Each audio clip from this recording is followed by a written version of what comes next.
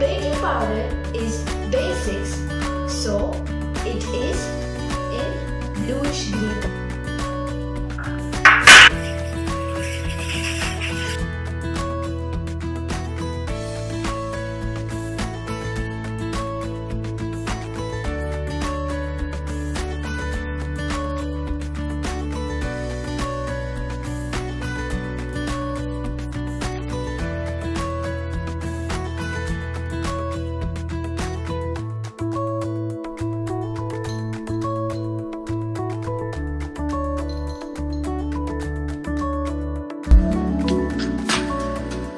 Thank you.